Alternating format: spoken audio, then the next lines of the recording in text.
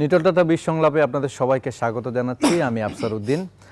আমরা এই অনুষ্ঠানে প্রতিদিনই কোনো না কোনো অর্থনৈতিক বিষয় নিয়ে আলোচনা করি সমসাময়িক অর্থনৈতিক যে কোনো বিষয় নিয়ে আমরা এখানে আলোচনা করি। আজকে আমরা বিষয় নির্ধারণ করেছি এসএমই খাতের সমস্যা এবং সম্ভাবনা। সে বিষয়ে আলোচনার জন্য আজকে এই মুহূর্তে আমাদের স্টুডিওতে উপস্থিত আছেন এই বিসিসিআই এর পরিচালক এবং ব্যবসায়ী ঐক্য ফোরামের সাধারণ সম্পাদক জনাব আবু মুতালেব। আপনাকে স্বাগত জানাচ্ছি আমাদের স্টুডিওতে। ধন্যবাদ। ভালো আছেন? তো আমরা মূলত এসএমই নিয়ে আলোচনা করব আজকে। মূলত একটু যদি আলোকপাত করতেন যে এসএমই খাতটা আসলে বাংলাদেশে আমাদের অবস্থানটা কি এখন? আসলে আমাদের অর্থনৈতিক উন্নয়নের বিকাশে এসএমই খাতের অবদান আজকের এই গ্লোবালাইজেশনের যুগে বাংলাদেশে অনেক এগিয়ে গেছে। কিন্তু দুঃখজনক হলো সত্য যে এসএমই উদ্যোক্তারা আমরা যেভাবে প্রাইভেট সেক্টর থেকে নিজেদের উদ্যোগে নিজেদের অনুপ্রেরণায় নিজেদের তত্ত্বাবধানে যেভাবে এগিয়ে গিয়েছে জি। কিন্তু আমরা জায়গায় জায়গায় বাধাগ্রস্ত হয়েছে। কারণ হচ্ছে কিছু কারণ যেগুলো আমাদের অর্থনৈতিক ব্যবস্থায় এবং আমাদের বাণিজ্য মন্ত্রণালয় বলেন শিল্প মন্ত্রণালয় বলেন যারা এটাকে লুক আফটার করছেন দেখছেন।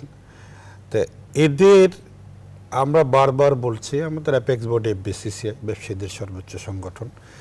এসিমি ক্ষুদ্র এবং বিগ সার্কেল এই। তিনটাকে নিয়ে এখনও বৈষম্য রয়ে গেছে। যে ক্ষুদ্র যারা এখানে কুটির শিল্পের একটা সংজ্ঞা আমরা চেয়েছি। সেই মানধাতা আমলের সে আজ থেকে আশির দশকের যে সংজ্ঞা ছিল আশির থেকে নব্বই দশকের যে সংজ্ঞা ছিল কুটির শিল্পের যে বিশ লাখ টাকার মেশিনারি পঞ্চাশ লাখ টাকার যাদের টার্ন ওভার তারা কুটির শিল্পের আওতায়। এবং এসিমির আওতাটা তখনও এটার সাথে সামঞ্জস্য ছিল সামান্য কিছু বেশি। পঞ্চাশ লাখ টাকার মেশিনারি এক কোটি টাকার টার্ন ওভার যাদের। তো আজকে এই উন্নয়নের ধারায় আজকে আমরা বলছি যে বাংলাদেশ অনেক এগিয়ে যাচ্ছে। ঠিক আছে? আমি এর সাথে একমত। বাট এগিয়ে যাচ্ছে সেই অনুযায়ী আজকে আমাদের যে বাজেটের যে ধরনটা ছিল আজ থেকে বিশ বছর আগে আমরা কখনো চিন্তা করতে পারিনি আমাদের বাজেট লক্ষ হাজার কোটি টাকা হবে। আজকে চার লক্ষ হাজার কোটি টাকা বাজেট এসছে কোথেকে এসছে? এর সিংহভাগ কিন্তু এই আমরা প্রাইভেট সেক্টর ব্যবসায়ীরা যোগান দিচ্ছি এই যে এই এই সিংহভাগটা। এর মাঝখান থেকে এর অধিকাংশ যে ভাগটা আসছে এই ক্ষুদ্র মাঝারি শিল্প উদ্যোক্তার পক্ষ থেকে। আমরা দেখেন কোনো গভর্নমেন্ট যে সাপোর্টটা আজকে যে এসিমির যে একটা রুলস নীতি নির্ধারণ করা হয়েছে এসএমই লোন এখানে অনেক বৈষম্য রয়ে গেছে। আচ্ছা। এখানে এসএমইর নামে বিগ প্রজেক্ট যারা আছে তারা লোনগুলো নিয়ে যাচ্ছে। প্রতি বাজেটেই একটা বরাদ্দ থাকে এসএমইর লোন কিন্তু দিন শেষে বছর শেষে গিয়ে দেখা যায় ব্যাঙ্কগুলোতে এই এসএমইর লোনগুলো অলস হয়ে পড়ে আছে। আচ্ছা। কেন পড়ে আছে? এটার কারণ আজকে আমরা অ্যানালাইসিস করে দেখলাম যে এই যে এসএমই লোনের যে লোন ইন্টারেস্ট অনেক হাই আজকে আমরা অনেক বলার পরে সিঙ্গেল ডিজিটে আনার একটা তৎপরতা চলছে, অনেক ক্ষেত্রে এসছে, অনেক ক্ষেত্রে আসে নাই। এটা কিন্তু আমাদের ব্যবসায়ীদের আন্দোলনের ফসল। এফবিসিসিআই সহ আমাদের স্টেক হোল্ডাররা বিভিন্ন চেম্বার অ্যাসোসিয়েশন আমরা গত দশ বছর যাবৎ বলে এসেছি বাংলাদেশ ব্যাংকের, ব্যাংকে গভর্নরকে তার ফলশ্রুতিতে আজকে গিয়ে প্রধানমন্ত্রী এই গত বছর এটাকে ইমপ্লিমেন্ট করার কথা বলেছে। আমি যতদূর শুনেছি যে গভর্নমেন্ট ব্যাঙ্কগুলো এই সেপ্টেম্বর এক তারিখ থেকে সিঙ্গেল ডিজিটে এনেছে প্রাইভেট ব্যাঙ্কগুলো এখনও এখনও বৈষম্য বৈষম্য রয়ে গেছে। তো এই যে এসএমই লোনের ক্ষেত্রে যদি সিঙ্গেল ডিজিট হয় এসএমই লোনের ক্ষেত্রে আরেকটু ফ্যাসিলিটি দেওয়ার কথা।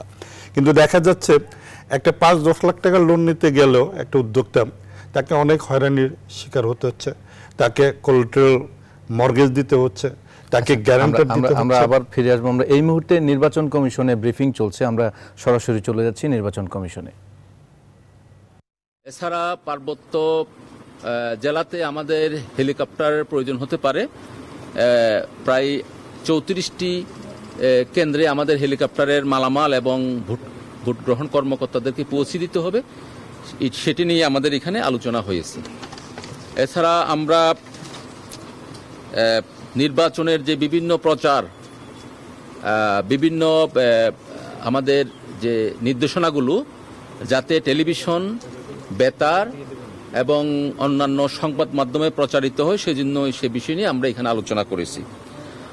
আমাদের যে বিদেশ থেকে যে সমস্ত পর্যবেক্ষকরা আসবেন, তাদের ভিসা প্রসেসিং যাতে খুব সহজীকরণ হয় এবং তাদের ভেটিংগুলো যাতে জননিরাপত্তা বিভাগ খুব দ্রুত দেন সে ব্যাপারে তাদেরকে আমরা নির্দেশনা দিয়েছি। আরেকটি হলো যে নির্বাচনের তফসিল ঘোষণার পরপরই এবং নির্বাচন পূর্ব সময়ে যাতে শান্তিপূর্ণ অবস্থান থাকে এবং সেজন্য আমরা সন্ত্রাসী, মাদক সেবনকারী যারা নির্বাচনকে ভণ্ডুল করতে পারে, এইরকম ব্যক্তিকে গ্রেপ্তার করার জন্য এবং অবৈধ অস্ত্র উদ্ধার করার জন্য আমরা জননিরাপত্তা বিভাগকে নির্দেশনা প্রদান করেছি।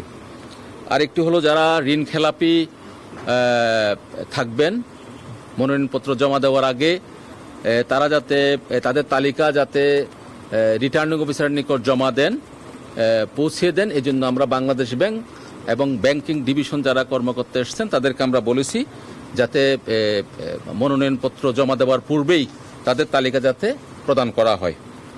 আরেকটি হলো যে আমাদের নির্বাচন পূর্ব সময়ে আচরণ বিধিমালা প্রতিপালন দেখভাল করার জন্য আমাদের বেশ কিছু সংখ্যক এক্সিকিউটিভ ম্যাজিস্ট্রেট নিয়োগ করার জন্য আমরা জনপ্রশাসন মন্ত্রণালয় এবং নির্বাচনের দিন আইন শৃঙ্খলা রক্ষা করার জন্য আমাদের মানে বিপুল পরিমাণ নির্বাহী ম্যাজিস্ট্রেটের প্রয়োজন হয়।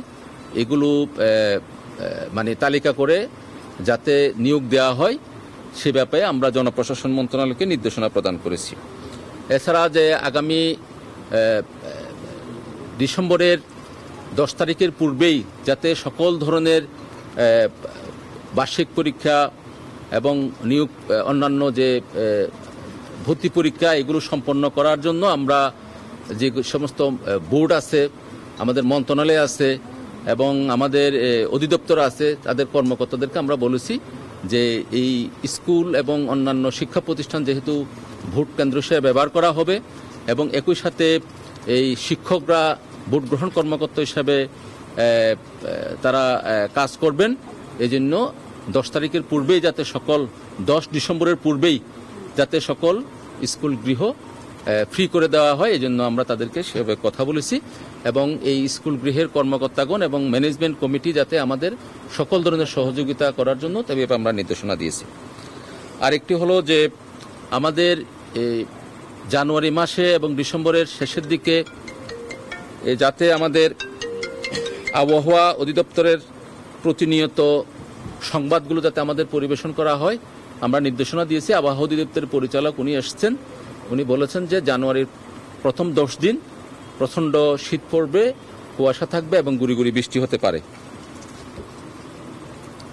আর তফসিল ঘোষণার যে তারিখে তফসিল ঘোষণা করা হবে, তার সাত দিনের মধ্যে সারা বাংলাদেশের প্রত্যেকটি নির্বাচনী এলাকা যাতে ব্যানার, পোস্টার, অন্যান্য যে সমস্ত প্রচারণার জন্য বিলবোর্ড দেয়া হয়েছে, এগুলো যাতে সাত দিনের মধ্যে অপসারণ করা হয়।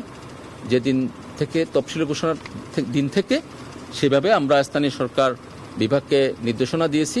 তারা যাতে স্ব সিটি কর্পোরেশন, পৌরসভা, উপজেলা পরিষদ, ইউনিয়ন পরিষদ এবং স্থানীয় প্রশাসনকে নির্দেশনা প্রদান করা দেন, যাতে এইগুলো সাত দিনের মধ্যে যাতে রিমুভ করা হয়। একটি ব্যানার, পোস্টার যাতে না থাকা হয়, এইভাবে আমরা নির্দেশনা দিয়েছি। এই ছিল আমাদের মোটামুটি আন্তঃমন্ত্রণালয়ের সাথে সমন্বয় সভা। ওনারা কিছু কিছু আমাদের কিছু পরামর্শ দিয়েছেন আমাদের নির্দেশনার বিষয়ে তারা রেসপন্স করেছেন। ওনারা বলেছেন নির্বাচন কমিশন যেভাবে নির্দেশনা প্রদান করবেন প্রত্যেকটি মন্ত্রণালয় বিভাগ অধিদপ্তর তারা সেই নির্দেশনাগুলো পালন করবেন। স্যার আপনি যেটা বলছিলেন যে তফসিল ঘোষণার আগেই কি জনপ্রশাসনকে নির্দেশ দিয়েছেন বিশেষ কোনো আইন শৃঙ্খলা পরিস্থিতি নিয়ন্ত্রণে রাখার জন্য বিশেষ কোনো অভিযানের? না আমরা বলেছি যে জননিরাপত্তা বিভাগকে তফসিল ঘোষণার পর থেকেই এবং নির্বাচনের আগ পর্যন্ত নির্বাচনের সুষ্ঠু পরিবেশ রক্ষার্থে যাতে সকল ধরনের এই মানে মাদক সেবনকারী সন্ত্রাসী, অবৈধ অস্ত্র, এগুলো যাতে তারা উদ্ধার করে এবং একটা পিসফুল পরিবেশ সৃষ্টি করে, সেটার জন্য আমরা তাদেরকে বলেছি এবং ওনারা জননিরাপত্তা বিভাগের প্রতিনিধি বলেছেন, বিষয়টি ওনারা ইতিমধ্যে ব্যবস্থা গ্রহণ করেছেন এবং মাননীয় মন্ত্রীর নেতৃত্বে একটি সভা হবে। ওই সভাতে বিভিন্ন বিষয় নিয়ে ওনারা আলোকপাত করবেন সেভাবে আইন শৃঙ্খলা রক্ষা বাহিনীকে ওনারা নির্দেশনা প্রদান করবেন। বিশেষ কোনো অভিযানের বিষয়টি আমরা ওইভাবে আলোচনা করিনি যে প্রতিদিনকার যে অভিযান চলতেছে, সেই অভিযানের মাধ্যমেই যাতে একটা পিসফুল কন্ডিশন রাখা হয়। এই বিষয়ে আমরা আলোচনা করিনি এবং ওনারা আলোচনা, এটা নিয়ে স্বরাষ্ট্র মন্ত্রণালয় আলাদা একটা মিটিং হবে। ওই মিটিংয়ে মাননীয় মন্ত্রী এবং সচিব স্থানীয় যারা আইন শৃঙ্খলা বাহিনী প্রধান আছেন তাদেরকে সেভাবে নির্দেশনা প্রদান করবে। নির্বাচনটা তো করবেন আইন অনুযায়ী আপনাদের প্রস্তুতি ডিসেম্বরে। জানুয়ারি মাসের ওয়েদার নিয়ে আপনাদের এত টেনশন কেন? নির্বাচনটা? না ডিসেম্বর এবং জানুয়ারির কথাই বলেছে বা যে ডিসেম্বরের শেষের দিকেও প্রচণ্ড শীত পড়বে তবে জানুয়ারির দিকে গুড়ি গুড়ি বৃষ্টি হতে পারে ওনারা এটা বলেছেন তফসিল কবে নেওয়া হতে পারে এই বিষয়ে কোনো আলোচনা তফসিল এটা তো এখানে আলোচনার বিষয় না। এটা এটা কমিশনের সিদ্ধান্ত নেবে তফসিল তবে তবে ধারণা করা হচ্ছে এক সপ্তাহের মধ্যে তফসিল ঘোষণা হতে পারে। স্যার আরেকটা বিষয় যেটা জানতে চাচ্ছি যে স্যার বিএনপি তাদের সংশোধিত গঠনতন্ত্র আপনাদের কাছে জমা দিয়েছেন কিনা? এটা তো আজকের কোনো বিষয় না স্যার এটা জানতে চাচ্ছি কারণ কিছুক্ষণ আগে মাননীয় কোর্ট বলেছে এই সংশোধিত গঠনতন্ত্র যেন ইলেকশন কমিশন গ্রহণ না করে। সেটা তারা নির্দেশনা দিয়েছে ওইটা আমরা এখনও তো মানে কোর্টের আদেশটা আমরা পাইনি এখন। এটা আলাদাভাবে একটু আমরা জেনে একটু জেনে কি আদেশ দিয়েছেন একটু জেনে আমরা ওনারা কি দলের পক্ষ থেকে তো আপনাদেরকে গতকালকে একটা গঠনতন্ত্রের কপি দিয়েছে? আপনারা তো পেয়েছেন হাতে পেয়েছেন কি স্যার? বিএনপি কোনো চিঠি? একটু জেন সংশোধন বিষয়ে কোনো চিঠি ওনারা অবহিত করেছেন? এটা অনেক আগে দিছে মাস দুয়েক আগে দিছে। তারা যে গঠনতন্ত্র সংশোধন করে আপনাদের ইয়ে দিছে ওই বিষয়ে আমি আপনাদেরকে পরে জানাই সবকিছু জেনে। যেহেতু আমি সবাইতে ছিলাম কি নির্দেশনা আসছে এবং এই ধরনের কোনো চিঠি আসছে কিনা? নির্দেশনা যে বিএনপির সংশোধিত গঠনতন্ত্র যাতে নির্বাচন কমিশন না এটা এটা এটা আমি এখনও পাই নাই। আচ্ছা। এটা জেনে এটা মানে কোর্টের কি নির্দেশ এটা জেনে আপনাদেরকে জানাই। এটা ভালো হবে।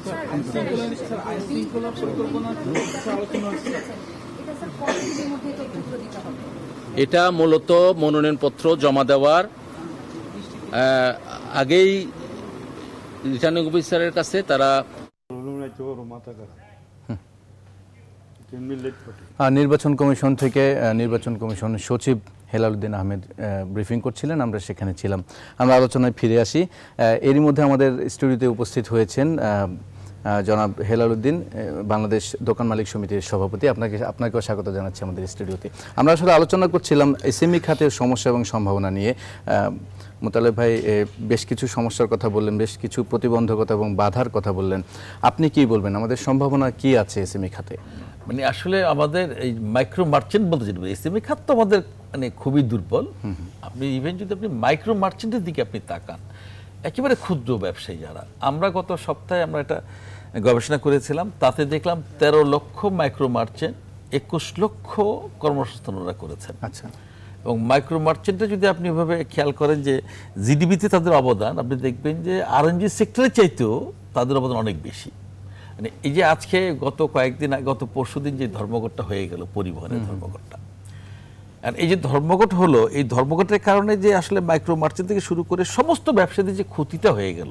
এবং আজকে পর্যন্ত কিন্তু যে যানজট এবং চিটং পোর্টে যদি আপনি খেয়াল করেন সেটা দুই মাসে শেষ হবে না।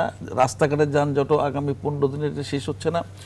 দুই দিন কর্মবিরতি ছিল কিন্তু দুই দিন কর্মবিরতির মাধ্যমে যে ক্ষতিটা আমাদের অর্থনৈতিকভাবে হয়ে গেল এটা কিন্তু আসলে মানে খুবই দুঃখজনক। প্রথমত হচ্ছে যে, রাষ্ট্র যেহেতু রাষ্ট্রের কাছ থেকে যেহেতু আমি নিচ্ছি, রাষ্ট্রকে কিন্তু আমাকে দিতে হবে। এটাই সিস্টেম এটা নিয়ম, এটা আইন।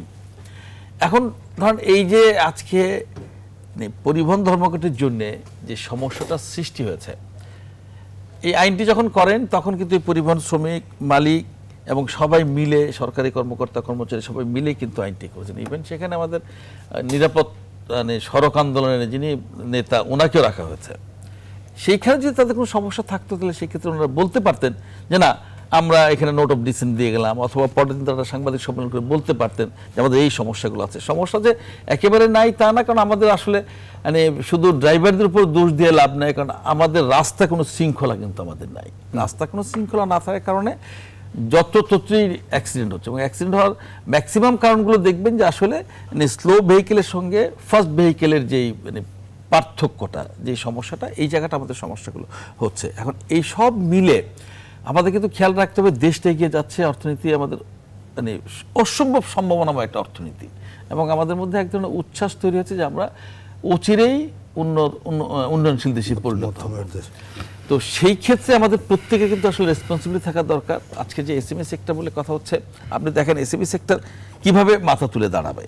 আপনি বড় বড় কোম্পানিগুলো আমি যদি একদম নাম ধরে ধরে বলি হ্যাঁ পাম থেকে শুরু করে অন্য অন্য কোম্পানি এরা এখন আমের আচার বানায় এরা এখন মুড়ি ভর্তা বানায় এরা এখন বাদাম ভেজা আপনি ইয়ে মানে এমন কোনো পণ্য এমন কোনো পণ্য নাই যে পণ্যগুলো তারা তৈরি করছেন না। এখন গাছের উপরটা খাবেন নিচে টোটো খাবেন তাহলে তো এসএমই সেক্টর দাঁড়াবে না। আমার কথা হচ্ছে আপনি ভারী শিল্পের সুবিধা নিচ্ছেন আমাদের কোনো আপত্তি নাই। আপনি ভারী শিল্পের সুবিধা নেন, কিন্তু ভারী শিল্পের সুবিধাও নেবেন, ক্ষুদ্র শিল্পের সুবিধাগুলো আপনি নিয়ে যাবেন। এবং এটার জন্য সবচেয়ে দুঃখজনক কি জানেন? আমাদের বাংলা গভর্নমেন্ট কিন্তু চেষ্টা করছে প্রতিনিয়তই যাতে এসএমই সেক্টরটা আরও বেশি ডেভেলপড হয়। এবং এসএমই না থাকলে কিন্তু বড় শিল্প তৈরি হয় না। এটাই পৃথিবীর নিয়ম। এখন গভর্নমেন্ট চেষ্টা করছে এবং বাংলাদেশ ব্যাংকে দেখবেন অনেক সফট লোন আসে যেইগুলোতে আপনার টু পার্সেন্ট থ্রি পার্সেন্ট ইন্টারেস্টে আপনার ক্ষুদ্র মানে এসিবিদেরকে দেওয়ার কথা। এখানেই বড় বড় গ্রুপগুলো করছে কি আপনার? ধরুন বাংলাদেশ ব্যাংক থেকে যিনি যিনি সদ্যমত যিনি রিটায়ারমেন্টে চলে গেলেন তাকে নিয়ে উনি বসিয়ে দিয়েছেন। উনি জানে কি কি কাগজপত্র দিলে তাড়াতাড়ি করে লোনটা বের করা যাবে। একজন সাধারণ উদ্যোক্তা যিনি নর্মাল এসিমিতে উনি আছেন বা এসিমিতে কাজ করছেন ওনার এই কাগজগুলো জোগাড় করতে করতে উনি টান দিয়ে সমস্ত টাকাগুলি নিয়ে আমরা এই প্রসঙ্গে আসব। এর মধ্যে আমাদের সাথে যোগ দিয়েছেন খন্দকার রুহুল আমিন। এফবিসিসি এর ডিরেক্টর হিসেবে উনি আছেন। আপনাকে স্বাগত জানাচ্ছি আমাদের স্টুডিওতে। আমরা আসলে আলোচনা করছিলাম এসএমই খাতের বিভিন্ন সমস্যা এবং সম্ভাবনা নিয়ে এবং হেলাল ভাই মাত্র বলছিলেন যে এসএমই খাতকে যে আলাদা করে একটু দেখবে আলাদা করে নার্সিং করবে সেই বিষয়টা আসলে ওইভাবে পরিলক্ষিত হচ্ছে না। কিন্তু সবাই হচ্ছে এসএমইতেও ঢুকে যাচ্ছে বড়রাও এসএমইতে ঢুকছে ছোটরাও এসএমইতে ঢুকছে। এই বিষয়টাকে কীভাবে দেখছেন? জি ধন্যবাদ আপনাকে এবং আমাদের দুই আলোচক ওনাদেরকে ধন্যবাদ। আমি মনোযোগ দিয়ে ওনাদের কথা শুনছিলাম। তো যে কথা আমাদের হালাল ভাই যথার্থই বলেছেন যে এখানে বেশ কিছু বড় বড় কোম্পানি যারা আছেন, তারা সর্বনিম্ন পর্যায়ে যেটা আপনার, যেমন আমরা ইলেকট্রিকের কথা যদি আমরা বলি সিম্পল সুইচ মাল্টিকট এই ধরনের সিম্পল জিনিসও এখন দেখা যায় যে বড় বড় সব কোম্পানি বানাচ্ছে। তো এইভাবে যদি হয় তাহলে আমাদের স্মল অ্যান্ড মিডিয়াম এন্টারপ্রেনার যারা আছে, ক্ষুদ্র যারা শিল্প আছে বা মাঝারি শিল্পের, তারা তো দাঁড়াতে পারবে না। আমরা প্রতিবেশী দেশ যেটা ভারত, সেখানে কিন্তু আমরা দেখেছি যেটা টাটা, বিড়লা বা এই ধরনের বড় বড় কোম্পানি তারা কিন্তু ছোট ছোটতে তারা যেতে পারে না। তাদেরকে সার্কিট ব্রেকার দেওয়া আছে। তারা কি পর্যন্ত তারা করতে পারবে? অর্থাৎ এই মিডিয়াম এন্টারপ্রেনার যারা আছে বা, ক্ষুদ্র যারা আছে, তাদেরকে সহযোগিতা করার জন্য সরকার এটা করেছে। আমাদের দেশে এটা এখনও করা হয়নি। আমি মনে করেছি যে করছি ইমিডিয়েট আমাদের করা দরকার। কেননা আমাদের দেশকে যদি আমরা উন্নতির শিখরে নিয়ে যেতে চাই প্রথমেই দরকার হবে জাপান, মালয়েশিয়া, সিঙ্গাপুর যেভাবে করেছে ইভেন ভারতে যেটা করছে, চীনে যেটা করছে। ক্ষুদ্র এবং মাঝারি শিল্প যারা আছে, তাদেরকে উৎসাহিত করা। বিভিন্ন ব্যাংকিং সেক্টর থেকে আরম্ভ করে লেটেস্ট টেকনোলজি তাদেরকে ধার দেওয়া। আপনি উন্নত দেশের আহ, উদাহরণ দিচ্ছেন। আমরা এই বিষয়ে আবার আলোচনা আসব। তার আগে একটু বিরতি নিয়ে নিই তারপর আলোচনা আচ্ছা। আবার চালিয়ে যাব. দর্শক নিটল টাটা বিশ সংলাপে এই মুহূর্তে ছোট্ট একটি বিরতিতে যাচ্ছে। আমাদের সাথেই থাকুন।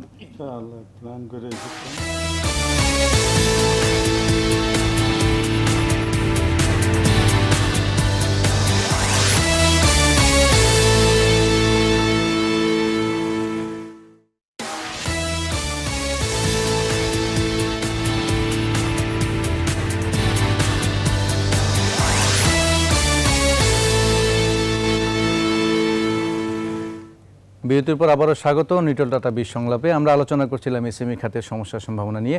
আলোচনায় যাওয়ার আগে আমরা একটু সংবাদ সম্মেলন থেকে ঘুরে আসব। সুপ্রিম কোর্টের বার অ্যাসোসিয়েশনের সংবাদ সম্মেলন চলছে, আমরা যাচ্ছি সেখানে।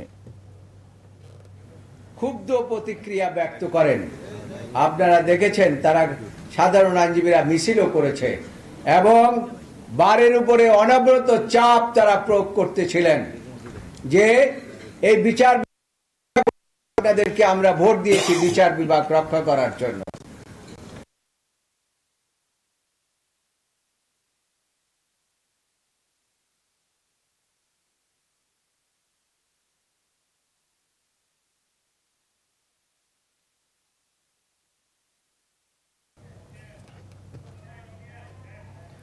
আমরা আম, আম, সংবাদ সম্মেলন ছিলাম আমরা এখন আলোচনায় ফিরে আসি। মূলত আমরা কিন্তু আলোচনা করছিলাম আপনি বিরতিতে যাওয়ার আগে জনাব রুহুল আমিন আপনি বলছিলেন যে উন্নত দেশের সাথে তুলনা করে বাংলাদেশে এসএমই খাতকে সেভাবে ঢেলে সাজানো হয়নি। উন্নত দেশের অবস্থানটা আসলে কি? তারা কি করেছে এসএমই উন্নত দেশ বলতে আমরা যদি ধরেন আমরা এশিয়ার যে ডেভেলপগুলো দেখি আপনার জাপান থেকে আরম্ভ করে Korea Malaysia Singapore China even Bharat যেভাবে ডেভেলপ হয়েছে টোটালি কিন্তু আপনি এসএমই সেক্টরকে গুরুত্ব দিয়েছে, বিধায় তারা কিন্তু উন্নতি চরম শিখরে চলে গেছে। আমাদের প্রচুর সম্ভাবনা আছে। আরেকটি কথা আমাদের না খেয়াল করলে চলবে না, যেহেতু প্রচুর জনসংখ্যা কিন্তু আমাদের আছে, প্রায় সতেরো কোটি। আর এখানে প্রায় সিক্সটি সিক্স পার্সেন্ট আছে ইয়াং এনার্জেটিক তাদেরকে আমার কাজে লাগাতে হবে, যেটা ইউরোপের বিশটা দেশ মিলিয়ে এত জনসংখ্যা মানে ইয়াত জনসংখ্যা নাই যেটা বাংলাদেশে আছে। এই ইয়াংদের কাজে লাগাতে হলে এসএমই সেক্টর লাগাতে হবে। আমরা যদি লেটেস্ট টেকনোলজি বা বড় বড় ইন্ডাস্ট্রির কথা চিন্তা করি, সেখানে কিন্তু ম্যান ওরিয়েন্টেড না। ম্যান ওরিয়েন্টেড একমাত্র এই এসএমই সেক্টরে। এবং প্রতি বছর দেখেন প্রায় বিশ থেকে পঁচিশ লক্ষ ছেলে মেয়ে তারা তাদের যে কর্মক্ষেত্রে বের হচ্ছে। এই কর্মক্ষেত্রে যাওয়ার পরিপ্রেক্ষিতে সরকারিভাবে মাত্র থ্রি পার্সেন্ট তাদেরকে কন্ট্রিবিউট করতে পারছে। আর নাইনটি সেভেন পার্সেন্ট যেটা, এটা আমাদের প্রাইভেট সেক্টরে যেটা আসছে। সেটা এসএমই সেক্টর বলেন আর বৃহৎ সেক্টর বলেন।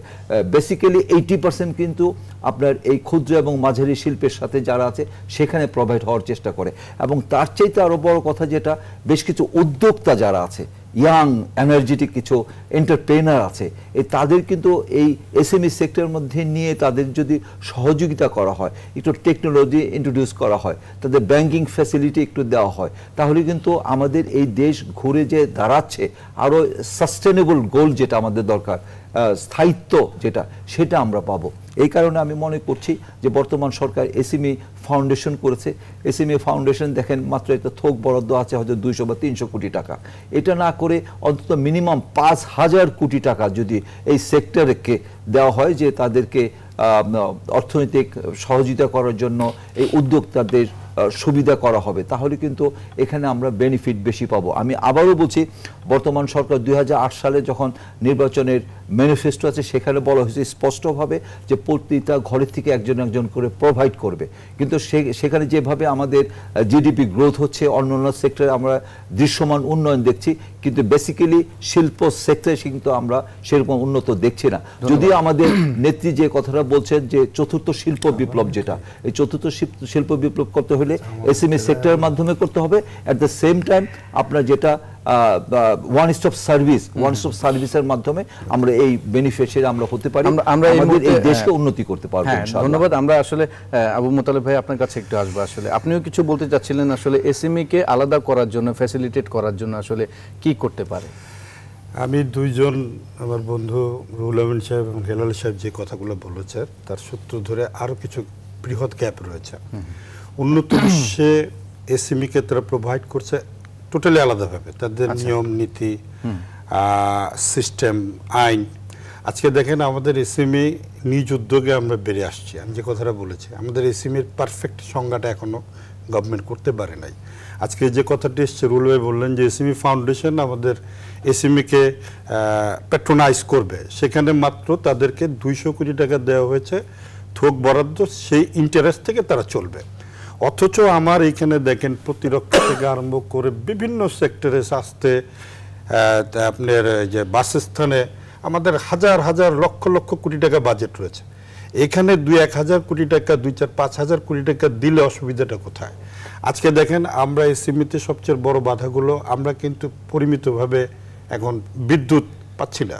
পরিমিতভাবে আমরা গ্যাস পাচ্ছি না।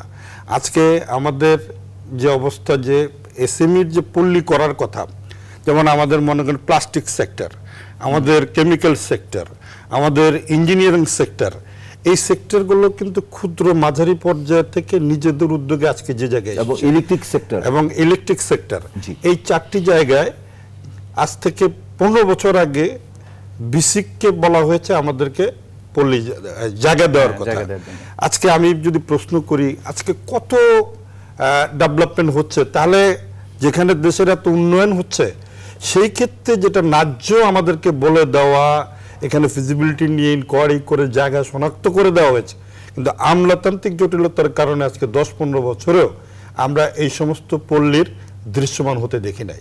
আজকে যদি, আজকে দেখেন এসএমইর আরেকটা বাধা হচ্ছে যে আমার চতুর্দিকে ভারত, চায়না, বার্মার থেকে অকাতরে এই সমস্ত যে ক্ষুদ্র ক্ষুদ্র জিনিস আপনার সুই থেকে আরম্ভ করে প্লাস্টিকের পণ্য কাপড় তৈজসপত্র এমন কোনো জিনিস না যেটা অনায়াসে ঢুকছে। আচ্ছা। সেই ক্ষেত্রে আমাকে তাদের সাথে প্রতিযোগিতা করতে গেলে অবশ্যই আমাকে ট্যাক্সেস বেনিফিট আমাকে দিতে হবে এবং আমাকে ইলেকট্রিক বেনিফিট দিতে হবে। সেই ক্ষেত্রে বড় একটা মাল্টিনেশনাল কোম্পানি যেখানে ইলেকট্রিক বিল দিচ্ছে সেক্ষেত্রে আমাকেও সেমলি দিতে হচ্ছে। আজকে এসএমইর নাম করে যে কথাটা হেলাল সাহেব বলেছেন বাংলাদেশের বড় বড় কোম্পানিগুলো তারা সমস্ত কিছু সুযোগ বড় বড় প্রোডাক্টের সাথে তারা ওই যে মুড়ির বর্তা থেকে আরম্ভ করে আচার প্রোডাক্ট করতে তারা ছাড়ছে না। তো সেই ক্ষেত্রে তারা কিন্তু একটা বন্ডেজ ফেসিলিটি তারা পাচ্ছে। আমরা যারা ছোট আমরা বন্ডেজ কি এটা আমরা বুঝি না। এই যে বন্ডেজ ফেসিলিটির কারণে এই সিমির যে একটা বিরাট অংশে আমরা বাধাগ্রস্ত হচ্ছি এই কথাগুলো আমরা বারংবার বলছি এনভিআর কে এবং এসিমির ক্ষেত্রে সবচেয়ে বড় বাধা এনভিআর এর আইন কানুন ট্যাক্সের। দুই হাজার বারো সালে যে আইনটাকে ইমপ্লিমেন্ট করার কথা ছিল সেইখানে এটা এখনো- এসিমি কে হ্যাঁ। প্রমোট করার মতো কোনো কিছু নাই। সেখানে যে আইনটাকে করা হয়েছে শুধুমাত্র বড়দেরকে প্রোটেক্ট করার জন্য। সেই আমরা- জায়গায় আমরা এনবিআর এর এই- বিষয়ে এসএমইর জন্য কোনো বিষয় নেই। এই বিষয়টা নিয়ে আমরা ফিরবো আমরা আবার একটি বিরতিতে যাব। দর্শক আমরা এই মুহূর্তে নিটল টাটা বিসংলাপে যাচ্ছি আর একটি ছোট্ট বিরতিতে। আমাদের সাথেই থাকুন।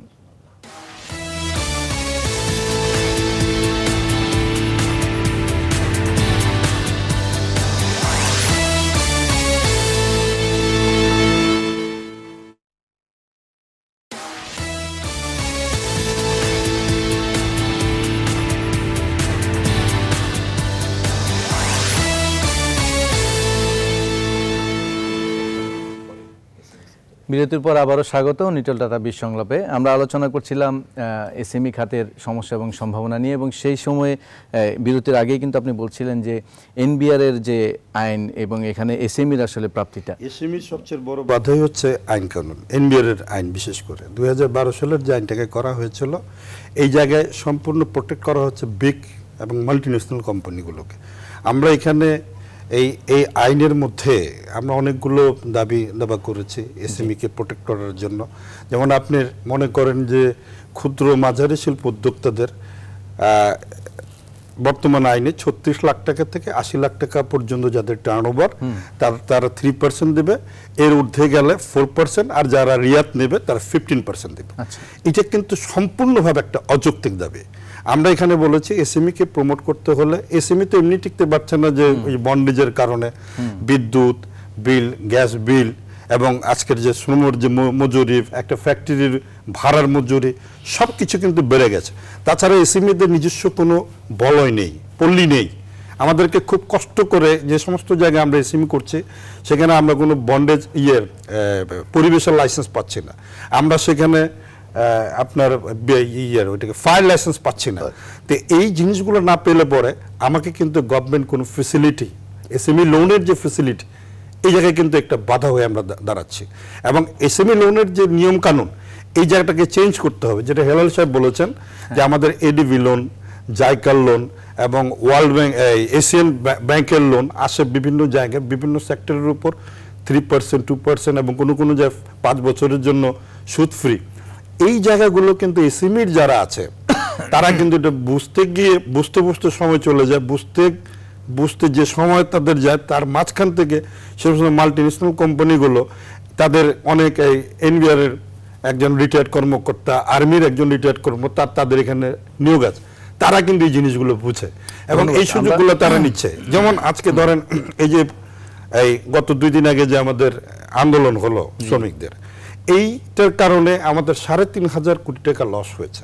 এই যে আইনের যে বৈষম্যটা, একটা এসএমএর উন্নতির জন্য প্রথমে হচ্ছে যে একটা আইন এবং নিরাপত্তার বিষয় রয়েছে। এই জায়গায় কিন্তু যেভাবে আমাদের উন্নয়ন হচ্ছে সেক্ষেত্রে গণতন্ত্রের নেসেসারি হয়ে দাঁড়িয়েছে আজকে। গণতন্ত্র করতে হলে জবাবদিহিমূলক আমাদের অবস্থানে যেতে হবে। আমরা যদি জবাবদিহিতামূলক অবস্থানে যেতে পারি যেমন আজকে রাস্তাঘাট উন্নত উন্নত হয়েছে। আপনার এখানে আমাকে আসতে পাঁচ মিনিট বিলম্ব হয়েছে। আমি দুই হ্যাঁ, ঘণ্টা আগে রওনা করেছি। দুই ঘণ্টা আগে আমি বাসার থেকে বেরিয়েছি। আপনার হ্যাঁ। এখানে আসার জন্যে। বাট এখানে আসার কথা আধা ঘণ্টা। সেখানে আমি দুই ঘণ্টার পরেও আপনার এখানে আমি আসতে পারি। আমরা একটু এই জায়গাগুলোকে আমাকে কমিউনিকেশনটাকে আমাকে দেখতে হবে। হ্যাঁ এই এই উনি উন্নয়নের কথা বলছিলেন। এই উন্নয়নটা আসলে এসএমইর ক্ষেত্রে কতটা ইফেক্টিভ হচ্ছে এবং এসএমই কে উন্নয়ন করার জন্য আসলে কি করতে হবে? খুব সংক্ষেপে। আসলে আমাদের এসএমই নিজে নিজে বেড়ে উঠছে। এসএমইর জন্য কেউ আমরা কাজ করছি না। এসএমই সেক্টরের কথা বলবেন। এসএমই আমাদের এসএমই যে ফাউন্ডেশন আছে আমার জানা নাই যে ওদের কাছে টোটাল এসএমই আমাদের কত হাজার লোক বা কত লক্ষ লোক এসএমইতে আছে, এই লিস্টটা ওদের কাছে আছে কিনা? এক। ওনাদের কাজ হচ্ছে কিছু টাকা ফিক্সড ডিপোজিট করে রাখা এবং কিছু কর্মচারীদের নিয়োগ করা বেতন ভাতা দেওয়া এছাড়া বাইরে কোনো কাজ নাই। বিষয় হচ্ছে আজকে আমার জিনিস খেয়াল করতে হবে আপনি দেখেন আমাদের দেশে যে কালচারটা হচ্ছে সেটা হচ্ছে যে ব্যাংকের যখন আমরা ডিফল্টার হবেন তখন তাকে গিয়ে ধরছেন যে আপনি ডিফল্টার হচ্ছেন। উনি যে কত টাকা নিয়ে যাচ্ছেন ওনার কত টাকার ব্যবসা আছে কত টাকা উনি ব্যাংক থেকে নিয়ে গেলেন এটা কিন্তু গভর্নমেন্ট দেখছে না অথবা দেখা কোনো আমাদের সংস্থা নাই। আমাদের কিন্তু এই জায়গাটা আগে প্রথম ডিফাই করতে হবে যে আসলে একটি লোক কত টাকা নিচ্ছেন কত টাকা তার ব্যবসার পরিধিটা কত বড়। এটা দেখার লোক কিন্তু আমাদের নেই। এবং সেই কারণে আজকে দেখা গেছে যে বৃহৎ শিল্প গোষ্ঠীগুলো কিন্তু ম্যাক্সিমাম টাকা নিয়ে গেছেন আপনার এই যারা এসএমই খাতে কাজ করছেন তাদের কোনো ব্যাংক ঋণ নাই তাদের অন্য কোনো রকম সুযোগ সুবিধা নাই। এই জিনিসগুলো আসলে এখন দেখার সুযোগ এসছে। আমার মনে হয় সরকার যথেষ্ট আন্তরিক। আমরা মধ্যর দেশে চলে এসেছি উন্নত দেশের স্বপ্ন দেখছি। যেভাবেই হোক আমাদের আজকে এসএমই সেক্টরকে যদি আমরা স্ট্রেনদেন করতে না পারি তাহলে আগামী দিনে কিন্তু আসলে আমাদের বড় শিল্প তৈরি হবে না। এই জায়গাটা আমাদের মনে রাখতে হবে। আমরা আমি আপনার কাছে একটু যাব খুব সংক্ষেপে একটু ভিন্ন প্রসঙ্গ। সেটা হচ্ছে ঢাকা ঢাকামুখী হয়ে যাচ্ছে মানুষ। এসএমই খাতকে যদি আমরা গ্রামমুখী রাখতে চাই এবং প্রান্তিক জনগণের কাছেই রাখতে চাই, তাহলে কি করতে হবে? জি ধন্যবাদ। আমি এই কথার আগে একটু বলতে চাই, যেহেতু এনবিআর সম্বন্ধে আপনি বলেছিলেন যে এসএমই সেক্টরে। এসএমই সেক্টরে আপনার বলতে ধরেন আমরা একটা সাধারণ দোকানদার যারা আছি, আমি ইলেকট্রিক ব্যবসার সাথে করি, আমাদের হেলাল ভাই আছে, দোকান মালিক সমিতি, উনি সভাপতি, উনি জানেন যে এখানে আমরা যে প্যাকেজ সিস্টেমটা করেছি, এক- একটা দোকানদার দেখা যায় সে তার ছেলে নিয়ে সে ব্যবসা করছে। সেখানে যদি আপনি সে অ্যাকাউন্টস মেনটেন করতে যায় আদার্স রাখতে যায় তাহলে কিন্তু সে এটা পারবে না বা অনলাইনের সিস্টেমটা সে জানে না। হ্যাঁ নেক্সট নেক্সট জেনারেশন যে আসছে যে ছেলেটা আসছে তার সাথে সে হয়তো দিতে পারবে আগামী দুই বছর বা তিন বছর পরে।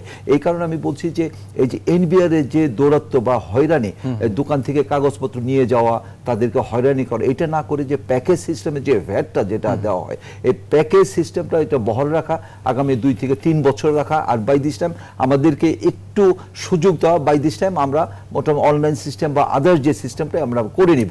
এই কারণে আমাদের যে প্যাকেজটা হ্যাঁ। আমাদের যে আঠাইশ হাজার টাকা আমাদের জন্য বেশি হয়ে যায়। আমরা যদি এখানে বারো থেকে আঠাইশ পর্যন্ত দোকান ভেদে আমরা যদি করতে পারি আর যারা ইম্পোর্টার বা যারা বড় ব্যবসা করে তারা কিন্তু আলাদা দিচ্ছে তারা কিন্তু প্যাকেজ প্যাকেজ দিচ্ছে না। অর্থাৎ এসএমইর জন্য আপনি বলছেন যে আলাদাভাবে প্যাকেজ সিস্টেমটা যাতে বহাল রাখা হয়। তাতে করে এসএমইটা উন্নত হবে নট অনলি দ্যাট এখন যে টাকা ইনকাম করছে বা আয় হচ্ছে আপনার যেটা হ্যাঁ, হ্যাঁ। আপনার এনবিআর কালেকশন করছে তার চেয়ে অনেক বেশি তারা আয় পাবে এই প্যাকেজের মাধ্যমে। ধন্যবাদ আপনাকে। আমরা শেষ করব আমরা একদম অনুষ্ঠানের শেষ প্রান্তে। আপনারা অনেক কথা বলেছেন ইয়াং ভাইব্রেন্ট পিপলকে কাজে লাগানোর বিষয়ে কথা বলেছেন কর্মসংস্থানের সুযোগ দরকার এসএমইতে এইসব কথা বলেছেন। আমরা অনেক কিছু আলোচনা করার চেষ্টা করেছি। তো ধন্যবাদ আপনাদের তিনজনকে জনাব আবু মোতালেব জনাব হেলাল উদ্দিন এবং খন্দকার রুহুল আমিন। তিনজনকে অসংখ্য ধন্যবাদ আমাদের স্টুডিওতে সময় দেওয়ার জন্য। দর্শক বিদায় নিচ্ছি নিটল টাটা বিশ সংলাপের আজকের পর্ব থেকে আগামী পর্ব পর্যন্ত। সবাই ভালো থাকবেন সুস্থ থাকবেন। ধন্যবাদ।